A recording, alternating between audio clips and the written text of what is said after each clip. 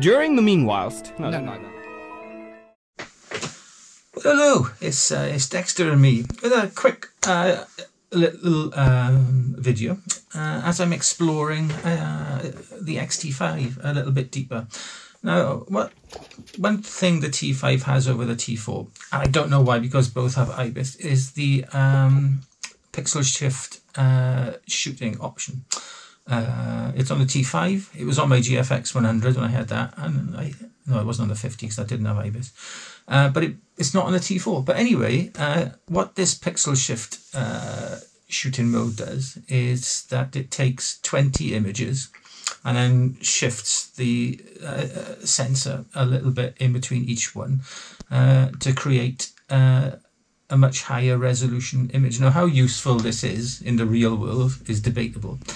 Um, I had four goes um, with my camera on my tripod shooting a static object and the first three goes uh, failed, and it was only the fourth one that rendered um, a, correctly built uh, file.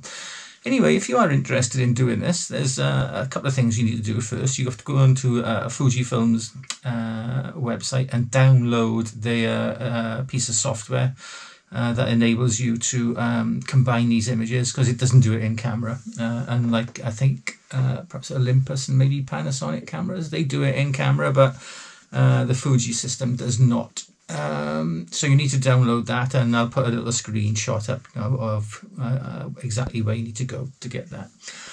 and then um, once you're once once you're ready to go, set your camera up. really really tighten it down on a very secure tripod. And it's only going to work with static uh, static objects this. So uh, I just shot uh, quite a detailed still life scene uh, in my little uh, room here uh, to compare. So I shot obviously I shot a control image which is a standard um, 40 megapixel shot. And then I did the the pixel shift one um, I think it's probably best to uh, go full manual everything so nothing changes like in between shots. Not that I think anything would, to be honest, but um, uh, if, especially if you are in like a controlled environment. Um, yeah, so it was manual focus, manual exposure, manual everything.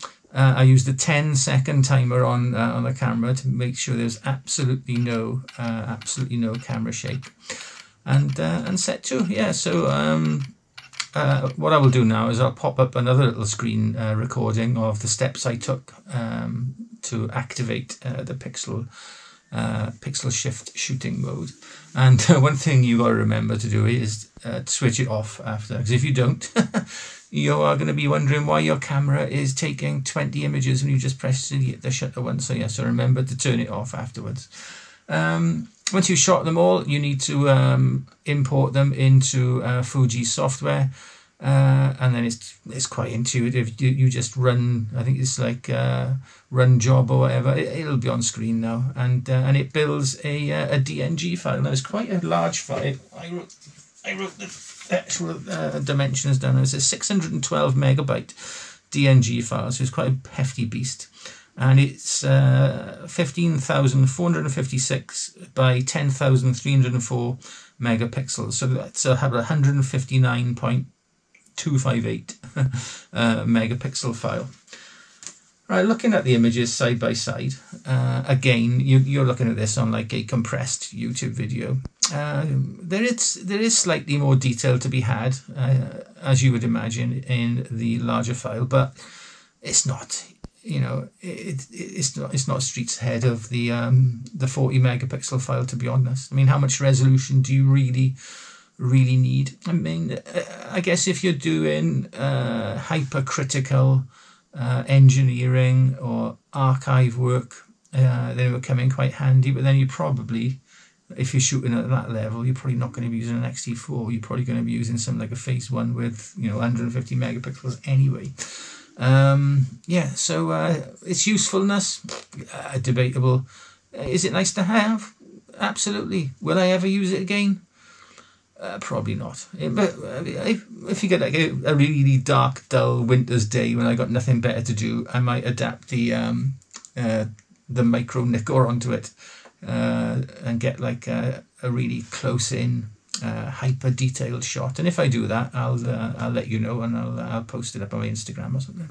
Anyway, that is it for this uh, short little delve into uh, the XT4s, XT5s. Uh, inner workings and what it can do. Uh, if I come across anything uh, interesting, I will. Uh, anything else interesting, I'll let you know. Uh, and also, if there's anything you want to know about the camera, you know, uh, pop me a question uh, in either in the comments or you know DM me on Instagram or whatever, and uh, I will endeavour to get back to you. Right, that's it. Stay safe, stay well. Look after yourselves, your loved ones, your pets, and look after look after all those pixels. Okay, and they will look after you. All right. Be nice, everybody, and uh, we'll see you on the next one. Ta-da.